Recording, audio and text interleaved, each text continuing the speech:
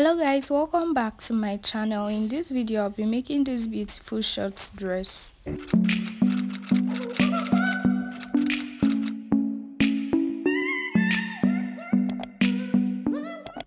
I'll be working on the skirt part of this dress first. My fabric is already folded into four. Make sure the width is wide enough to take your hip measurements and the allowance you'll be adding to it. So because i'll be working on the skirt part first i'm going to minus the length of the half length I'll be using. First of all, I'm going to roll out this straight line as my starting line. Then I'm going to minus 15 inches from it because that will be the length of my half length. So I'm going to minus to 15 inches and I'm going to take the length of this dress.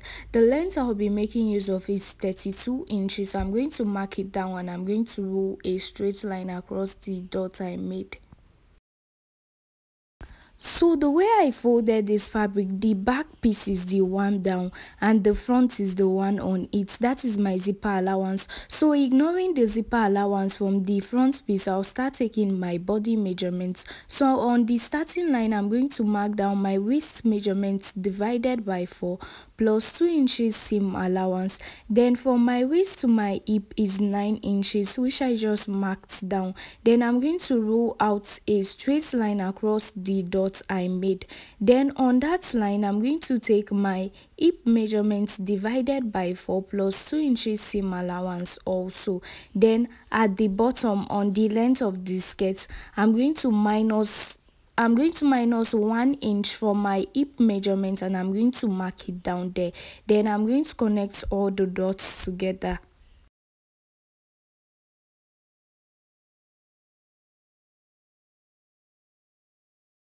Now I'm going to cut out the excess part of the fabric and I'm going to notch the center of the front piece.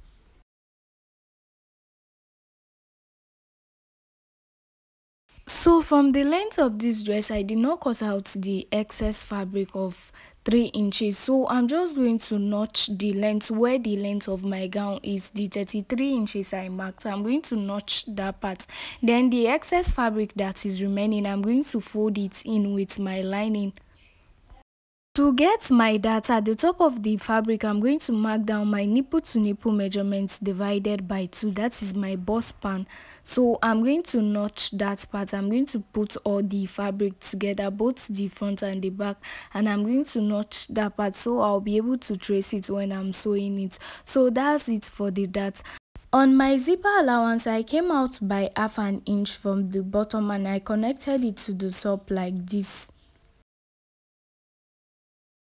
This is the fabric I'll be using for the half length. It's already folded into four. Make sure the width is wide enough to take your bust measurements and the allowance you'll be adding to it. The back piece is the one down with my zipper allowance while the front is on it. So ignoring the zipper allowance, I'll start taking my measurements. On the top of the fabric, I'm going to mark down my shoulder measurements divided by 2.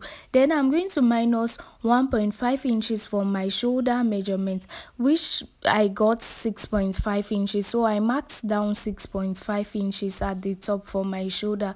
Because this is an off shoulder gown I'm going to be minusing 5 inches from the top before taking my measurement. So from my shoulder to my chest line is 8 inches which I just marked down. Then from my shoulder to my bust point is 10 inches which I also just marked down. Then the Half length from my shoulder to my waistline is 14 inches plus the 1 inch I'll be adding to it as my seam allowance. So making the half length 15 inches. So I'm going to roll out a straight line across all the dots I've made. On my chest line, I'm going to mark down my bust measurement divided by 4 plus 2 inches seam allowance. Then I'm going to connect the bust measurement on the chest line to my shoulder measurement like this.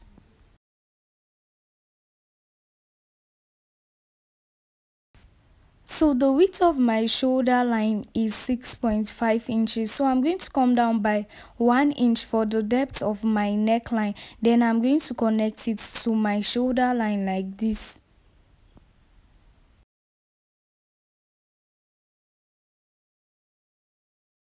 On my waistline, I'm going to mark down my waist measurements divided by 4 plus 2 inches seam allowance.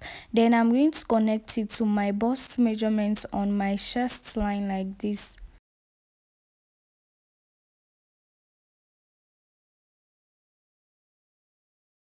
So I'm going to cut out the excess part of this fabric.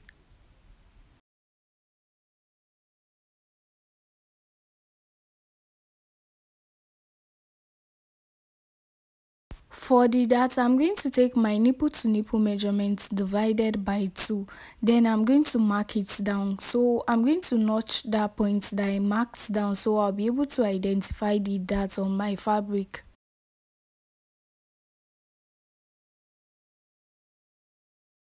This is the adjustment I'll be making on my zipper allowance. I'm going to be going up by 1 inch on the zipper allowance. Then I'm going to trace my dart up because I'll be cutting that part out. So I'm going to take my roller and connect the 1 inch to the other side of the fabric like this in a slanted way. Then I'm going to cut that part out and re-notch my darts.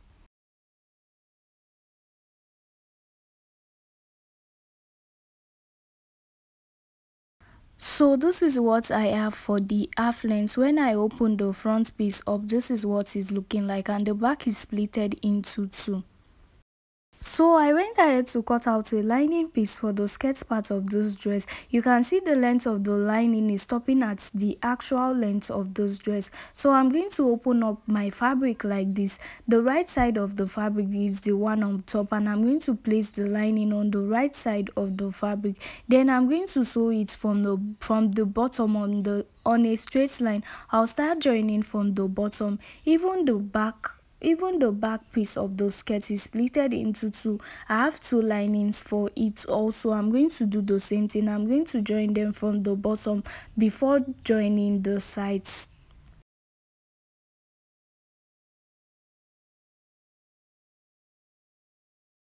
I also did the same thing for the half length. These are the lining piece for the back. The back is splitted into two so I have two lining for it. I'm going to join the neckline area, the armhole and the sides but I'm not going to join the bottom.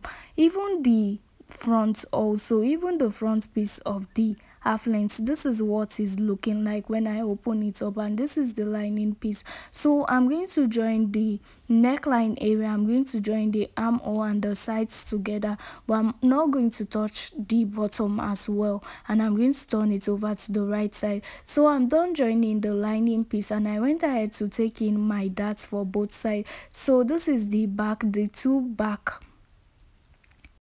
and this is the front piece. I took in the dart for the front piece as well and this is what i have.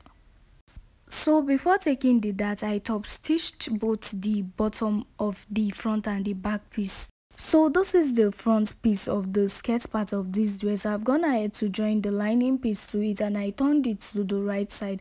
I top stitched the top and this is what i have. This is the back also. I did the same thing for the back. So you can see that i drew in the 3 inches allowance I added to the bottom with my lining piece and this is what I presently have. I did the same thing for the front and all the and the back piece as well. So this is what I have before I join my my half length to my front piece i'm going to take in the darts for both sides of it. After taking the darts i'm going to join it together on a straight line like this. So i'm done taking in the darts and i join them together. I make sure both the darts for the down part and the front part is matching i did the same thing for the back and i added my zipper to it. So this is what i have. I'm going to place the two right sides of the fabric on each other like this.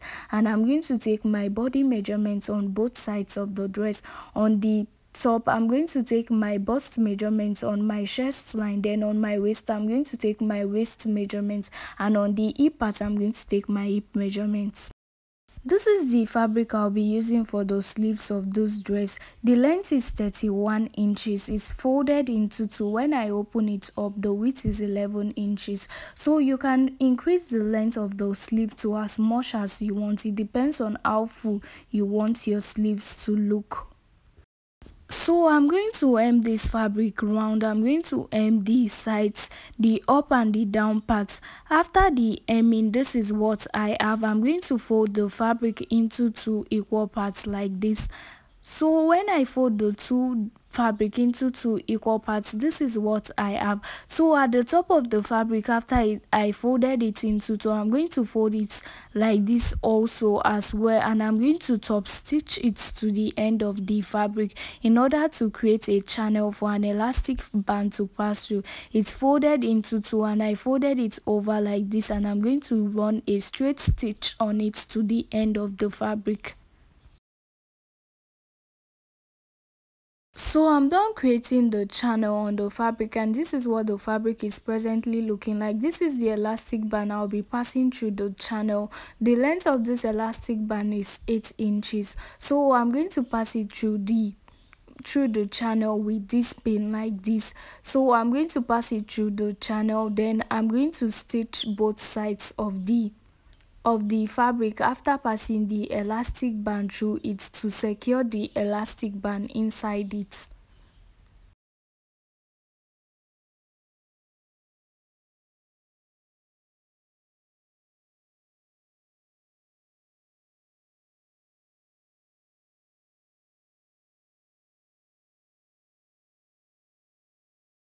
So i'm done with the sleeves and this is what i have. So i'm done closing up both sides of the dress and this is what is presently looking like. So i'm going to bring in the sleeves that I'll be using. So I'm going to place the right side of the sleeve of on the right side of the of the main dress like this and I'm going to pin it to this part of it like this.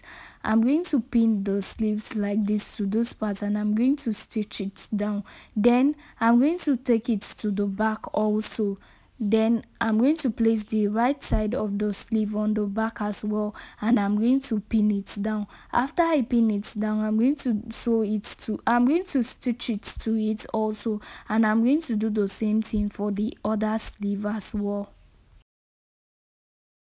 so with this we have come to the end of this video. Hope this video was helpful. Please give it a thumbs up if you like it and subscribe to this channel if you're not yet a subscriber. Now see you guys in my next video